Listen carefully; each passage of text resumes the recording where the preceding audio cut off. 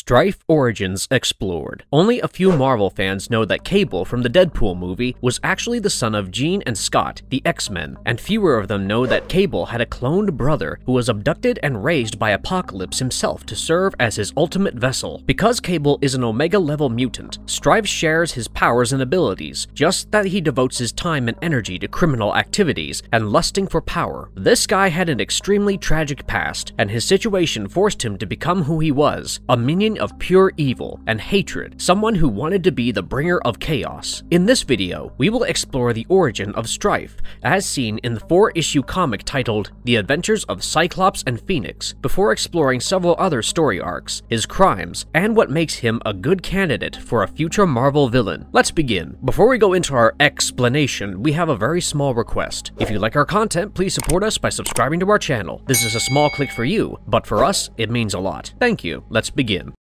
The longest honeymoon. After Jean and Scott Summers get married, they go on a honeymoon to the tropical paradise of St. Bart's, and on the first day of their honeymoon, they realize that it may become their most memorable vacation ever, and probably for all the wrong reasons. Just one moment ago, she could feel the delicious warmth of the tropical sun on her skin, but in the next, she found herself struggling with the searing heat of the roaring inferno. She no longer heard the singing of birds and the sound of waves. She was now in the midst of deafening explosions, but where was she? Somehow, she managed to break free of her restraints and found that she was on some kind of vessel that was in a state of destruction, but her attention was drawn towards this man who was hanging onto his life. Jean did not recognize this man, but she knew that she needed to help him anyway because that's what X-Men do. She tried to use her telekinesis to bring him to safety, but realized that her powers were not working. Clearly, she had to do it the old-fashioned way. She lunged at him just as the man was about to lose his grip and fall to his death and despite the deafening cacophony, the violent heat, and the thick black smoke that sought to engulf them both, they both knew the instant they touched each other who each of them was. But where were they? It becomes clear in the very next panel that Scott and Jean Summers have been transported 2,000 years into the future, and in a world that was ruled with an iron fist by the one who never dies, Apocalypse. They were still in the structure, or the Askani Cloister, when Apocalypse's henchmen arrived to eliminate any survivors. But who were the Askani? Well, well, they were basically a group of mutants who were fighting Apocalypse and served as resistance to his despotic rule. The leader of Apocalypse forces, Ch'vayre, exclaims to his men, now that the child has been found, every one of these traitors is expendable, but everyone was dead except the two travelers from the past. As soon as the bad guys learned about them through the bioscanners, Ch'vayre ordered his mutant followers to find and kill them. However, someone came to Jean and Scott's rescue. It was Rachel Summers, the daughter of Scott, who was stuck in this timeline as Mother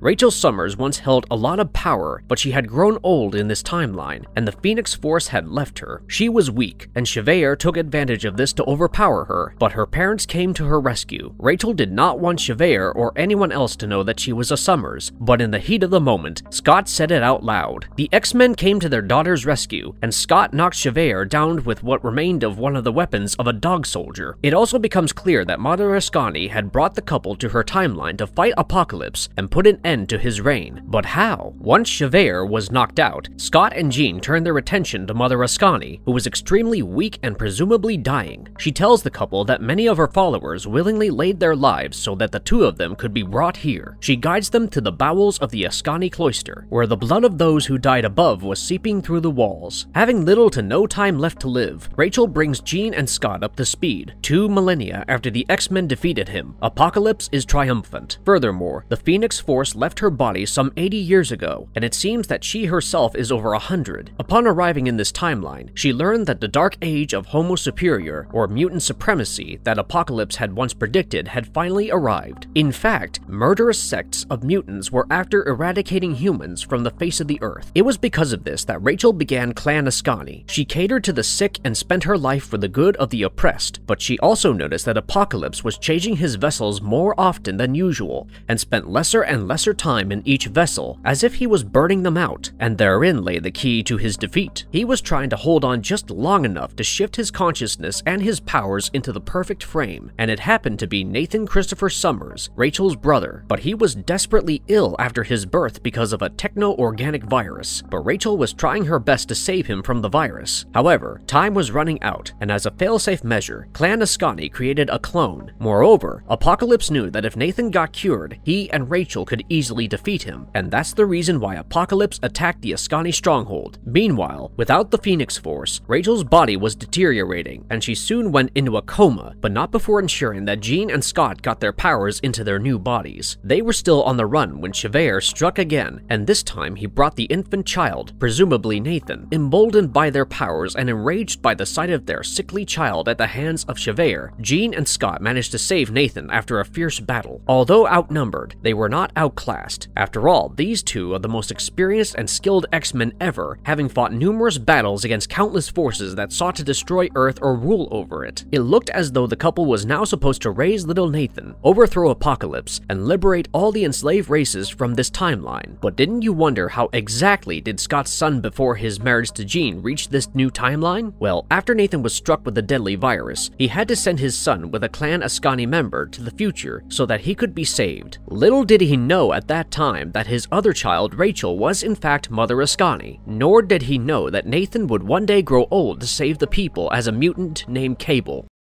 Pilgrimage. The next issue picks up almost five years from where the first one left off. Jean and Scott Summers have assumed the identities of Red and Slim Dayspring and are on a pilgrimage to the territory called Coast Crest. They have started living among the Sapien caste, and that's what the humans are now called. Much like the other members of the ostracized Sapien caste, Jean and Scott live hand to mouth and flee from one province to another in a bid to keep Nathan safe. During the course of their journey, they come across a stranger who understands that they were conversing in an older dialect of English. Clearly, Scott and Jean, or Slim and Red, had failed to pick up the new dialect and accent. The stranger becomes suspicious and carries on, while Scott tells Jean that they should be more careful. Meanwhile, Apocalypse's stronghold, which was 300 miles down south and along the Pacific, had held a feast to celebrate the annihilation of Clan Askani, but Ch'vayre, the prelate paladin of En Sabah Nur, was unable to relish the pleasures for he knew that Clan Askani hadn't been totally disintegrated. A woman and a man who followed Were still alive and were carrying on the old woman's teachings. He felt that he had somehow failed his master, but the tortured chain of thoughts was interrupted by an explosion in the vicinity. But the explosion was created by the man of the hour, Stryfe, now just five years old. Stryfe was the clone that Apocalypse had abducted, falsely assuming that he was Nathan. The child had killed his instructor because Stryfe didn't want to learn. So, in his anger and expression of saying a simple no, Stryfe had destroyed a part of the building and turned the instructor to bones and ashes. We think this underscores the great things Stryfe would do in his future. Not all of them would be good deeds, but they'd be great nonetheless. The Lord Paladin Ch'vayre chastises Stryfe for being the unruly brat that he was. We might be understanding his actions here, but wait for what Stryfe had to say about the murder. He was just a low-lev, not even a full mutation, but Ch'vayre reminds him that no mutant life should be taken without Apocalypse's orders, and that Stryfe may be the chosen one, but he didn't yet have the privilege of carrying out executions. However, Stryfe gets praised for his actions by Apocalypse himself. Be patient with him, child. He does not have our power, and therefore lacks the perspective, but you, Stryfe, can taste our destiny on your lips. Already feel the hunger welling up inside you. Stryfe knows that he has been chosen as the successor of the only one who has lived through a millennia, and knows very well that no one can hurt him. Apocalypse sends Stryfe away and speaks to Ch'vayre alone. Ch'vayre warns Apocalypse that by accelerating Stryfe's mutant abilities, Apocalypse was going against one of the laws of natural selection that Apocalypse himself had lived by. But Apocalypse is running out of time. The sheer magnitude of power that he has accumulated over time has been rendering his various vessels incapable of holding them, and Apocalypse believes that the biological son of Jean and Scott is the vessel that would make him live for an eternity. On the other hand, Nathan, Jean and Scott had arrived at the gates of Crest Coast, and they were to pass the Vanguard and enter the city. However, trouble was waiting for them as some Apocalypse's guards picked up a fight with the Daysprings. To make things worse, the stranger from earlier arrived and told the guards that the family was speaking an Old English, which meant that they were lying about themselves and probably didn't even pledge their allegiance to the great genetic overlord, Apocalypse. Scott initially gets beaten up, but he tries to keep his calm and protect the disguise, but things spiral out of hand, and he prepares to show the petty mutants who the real boss was. However, before he could do that, a high-level mutant named Prior Turin arrived and announced that the Daysprings were guests and should be allowed to enter. Of course, the guards could not defy the orders of Prior Turin and let the family go, after which they even killed the stranger on Prior Turin's orders. Once inside, Jean and Scott inquire about some package, which Prior Turin said had arrived safely and was waiting for them. Once they walk into the city, they find scores of corpses on the streets, just lying there, as if stunned to their deaths while they were going about their daily lives. Nathan and Stryfe. Three years later, Jean was teaching her ward the same tricks and techniques that Charles Xavier had taught her about controlling her powers. Unlike his clone twin, Nathan was being raised in the care of two loving parents and was being given the opportunity to develop his powers in the most natural way possible. It wasn't before long that Nathan learned to mentally hide his cybernetic arm so that he could pass as a human in public, but the 8-year-old could not understand what he was preparing for or why he had to hide his powers. Jean could not tell him that his fate was sealed as a man man named Cable, who would have to spend his life fighting Apocalypse and leading a rebellion against him. Nathan would have to make one difficult choice after another, and all for the greater good. Meanwhile, Apocalypse raises Stryfe to become a worse despot than himself, killing innocents for no reason other than amusement, and gradually, Ch'vayre starts to see the folly in his master of Homo Superiors, who has nothing to offer the world than tyranny and torture. Back at the rebel camp, Nathan follows Jean and learns that she and Scott are actually a part of the band of rebels called the Clan Rebellion. Furthermore, they are planning to raid an important stronghold belonging to Apocalypse. Young Nathan follows the rebels to the stronghold, which was actually the lab of genetic hierarchy and a place that once brought Apocalypse's enemies to their heels, but it could also house the power that could end Apocalypse's 100-year reign of terror. At the site, they met with Gaiac, a limited series synthcon that had the ability to use the lab's console as a back door into the computers. After infiltrating the facility, the rebels found that it had a theoretical design of a virus that could wipe out humanity by retarding the growth of human DNA polymerase. However, it was clear that the only obstacle inhibiting the release of the virus at that time was its failure to differentiate between the DNA of Homo sapiens and Homo superiors, and therefore unleashing the virus would mean the decimation of all life on Earth, human and mutant. The virus looked very similar to a legacy virus that was once given to Sinister by Stryfe in the original timeline, but that event hasn't taken place yet. It had the potential to bring mass death and destruction, but the sacrifice of Colossus saved the day. Jean and Scott wanted to destroy the virus, but before they could do that, Ch'vayre arrived at the scene with his soldiers and Stryfe. A fierce battle ensues between the rebels and Ch'vayre's team. It is now that many of the rebels, as well as Ch'vayre, learned that Jean and Scott were actually mutants who were fighting against Apocalypse, a concept that was most strange for Ch'vayre to digest because he had been made to believe that Apocalypse was the one true leader of all mutants. Nathan wanted to jump in to help Scott and Jean, but a voice in his head stopped it from happening. Any guesses whose voice it was? Well, this was Rachel. It turns out that although she was in a coma, she had control over her mind and a few of her powers. Nathan was supposed to use the lab computers, but he had never seen a computer before, let alone use it, so Rachel was largely brainsiding him, showing him a holographic projection of the whole thing. Stryfe saw this from a lower level and went to find out what was happening. It is now that Nathan and Stryfe come face to face for the first time, not counting the time they spent together as infants. The kids learned that they were clones of each other, and for the first time, Stryfe feels threatened. There is only one Stryfe, only one heir to the throne of Apocalypse, the Chaos Bringer. But being the Chaos Bringer was never one of Nathan's life goals. Stryfe attacks Nathan using his powers, and Rachel guides Nathan to use his. She guides him to allow the power to flow through him uncontrolled. In order to understand the full extent of his powers, he had to use them without restraint. The virus that was once implanted by Apocalypse into Nathan takes over the child, but he overcomes and controls it. And just like that, Nathan was able to knock Stryfe out. In fact, Nathan managed to program the computer to self-destruct, something that shocked and amazed his parents. Once the facility was destroyed, the rebels left the place. Later, Nathan told how Rachel helped him, and Scott goes to his daughter to speak his heart out, and although she was in a coma, he knew that she was listening to him. Meanwhile, Ch'vayre has seen too much of the menace that Stryfe is, and the calamity he would bring if he became Apocalypse's heir. In his contemplation, he says, It is not too late to save the countless millions of innocents of every race who will suffer if the boy lives to become the Chaos Bringer.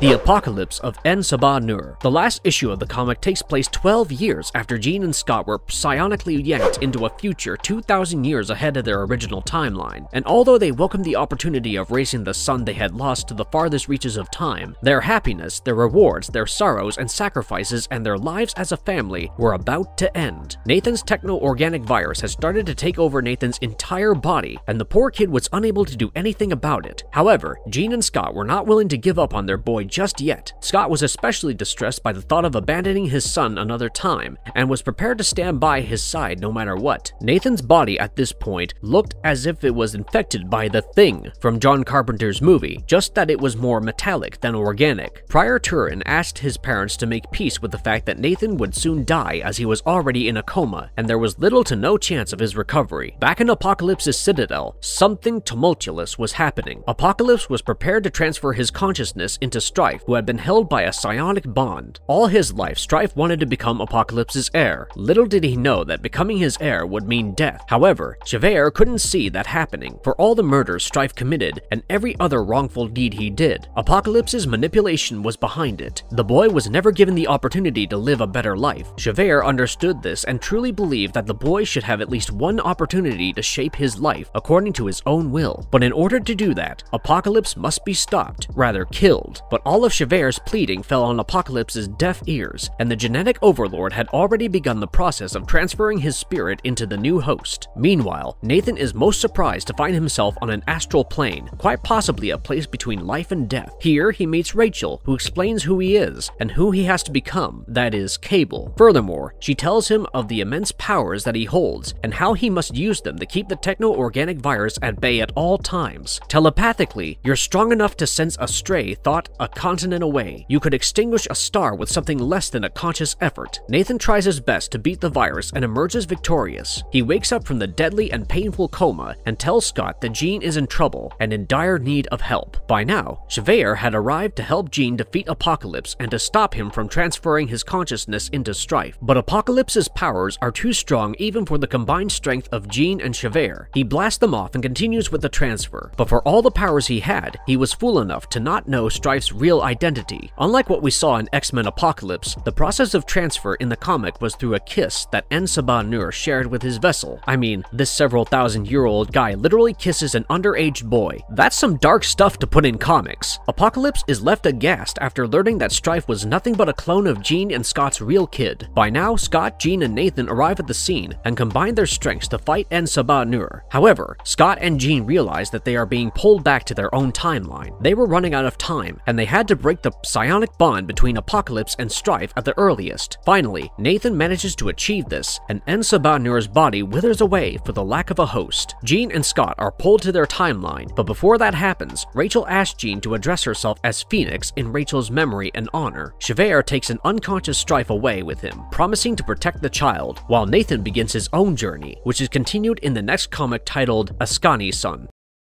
The days after Apocalypse. After Apocalypse's century of terror ended with Nathan and his parents defeating him for good, the world was taken over by new Canaanites, a despotic regime that was as bad as Apocalypse's rule, maybe even worse. Another such contender for the power was the group called Scions of Apocalypse, and as for Stryfe, he went into hiding under the protection of Ch'vayre, but Apocalypse's end had turned Stryfe insane with rage, and kept insisting that instead of him, Nathan was the clone. In time, Stryfe met his most trusted ally in the form of Ambient Energy Dampening Actualization Module Unit 0, or ADAM Unit 0, which was a bot developed by Clan Askani as a peacekeeping force. When Stryfe found Zero, it was inactive. Although Stryfe reactivated the robot, he did not fix Zero's speech functions, which rendered him mute. Zero's various abilities ensured that he served Stryfe as his bodyguard and transport, in addition to being an ally. By now, Stryfe had become hungry for power, so much so that he did not hesitate from shedding blood. He wanted to create an army of blood and flesh based on Zero, who also told him about Madame Sanctity, the last member of Clan Askani. By the time Stryfe became an adult, Ch'vayre had grown old and was no longer capable of stopping Stryfe from his bloodlust or unceasing desire to gain power at all costs. He came to believe that he should do what he must have done years ago, that is, killing Stryfe. However, Stryfe was a young adult and overflowing with power that was too much for Ch'vayre. Stryfe created an illusion and subjected Ch'vayre to torment and suffering for times to come. Despite Ch'vayre's attempt on his life, Stryfe did not kill him, but that day came to pass when Ch'vayre tried to warn Askani about Stryfe's ambitions. Stryfe would fry his protector's mind to give him the most painful of deaths. With help from Zero, Stryfe would finally find Madame Sanctity and would ask her to train him. Madame Sanctity was initially apprehensive about it, but once she learned that Stryfe had shared the psionic signature with Nathan, she agreed. It was around this time that Stryfe donned his trademark armor for the first time and also took the title of Chaos Bringer.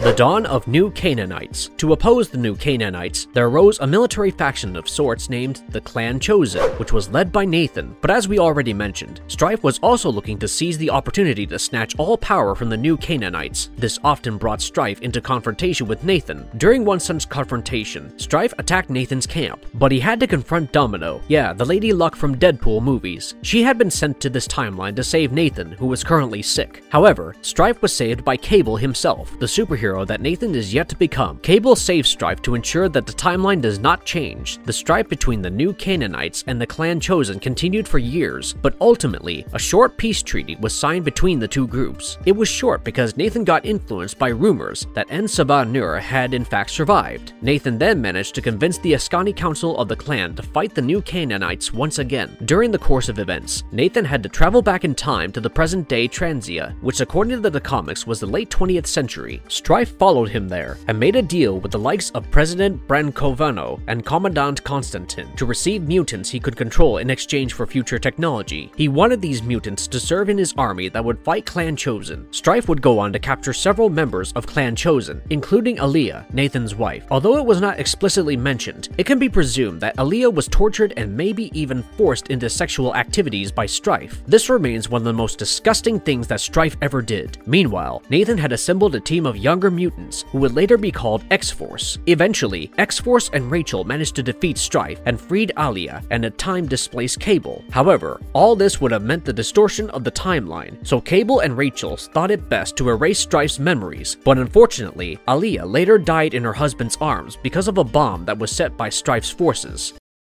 Mutant Liberation Front, and other crimes. Later in life, Stryfe would commit more crimes such as creating a mutant terrorist organization called the Mutant Liberation Front, whose sole purpose was avenging the apparent wrong that had been done to the mutants in the current timeline. Stryfe's powers and technology combined with Zero's teleportation abilities made Mutant Liberation Front a force to reckon with. In a bid to cover up illegal genetic experiments, Stryfe ordered his team to massacre Native Americans living at Camp Verde Reservation, which was the home to Warpath, an X-Force member member. Furthermore, he also ensured the release of the Legacy virus, which we covered a while ago. In one of the story arcs, Stryfe entered Cable's body after the former's consciousness was transferred. However, Stryfe left Cable's mind and was presumably sent to the Netherworld, ruled by a demon named Blackheart. Meanwhile, Warpath's heart was forced to stop by an evil scientist named Edwin Martynec. Blackheart made a deal with Stryfe and promised his return to Warpath's body if Stryfe could defeat the spirit form of Warpath. However, Stryfe failed and continued to remain Blackheart's prisoner prisoner. And of course, there have been several more story arcs in which the enmity between Stryfe and Cable has continued. This guy has been annihilated and resurrected only to be killed again, but he somehow manages to surface again. We believe till the time Cable or Nathan is alive, Stryfe will continue his strife against him.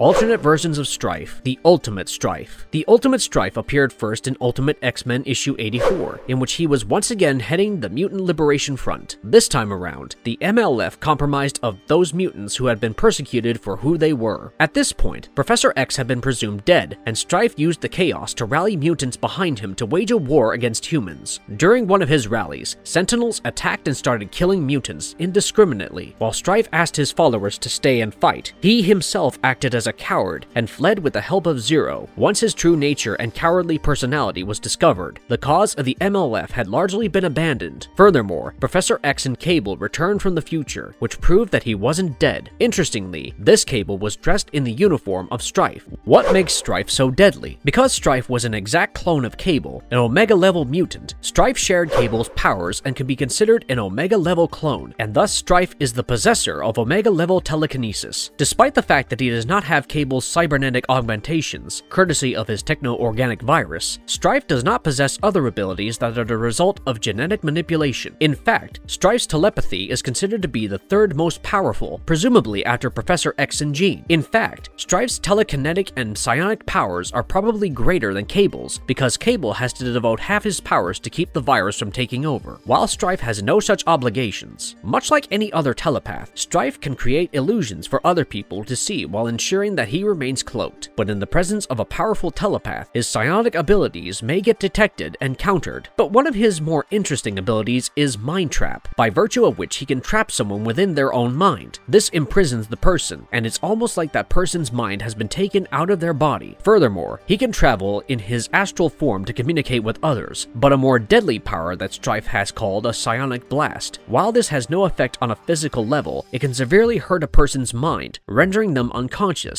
but it's capable of killing the victims too. Being the adopted son of Apocalypse, Stryfe can also transfer his consciousness and powers into a host body, but unlike Apocalypse, Stryfe has failed to make effective use of this power. Furthermore, Stryfe's telekinetic abilities are also quite advanced. For instance, he is capable of lifting several tons of weight using just his mind. However, the upper limit of his telekinesis has been left rather undisclosed. All in all, Stryfe is a fairly strong mutant clone and has quite a bit of potential to serve as a major MCU villain. With Marvel going deep into Phase 4, there's hope that such characters would gain more limelight. And if you liked our content, don't forget to leave a like and subscribe to us if you haven't already. Have a good one and be safe. Thanks everyone.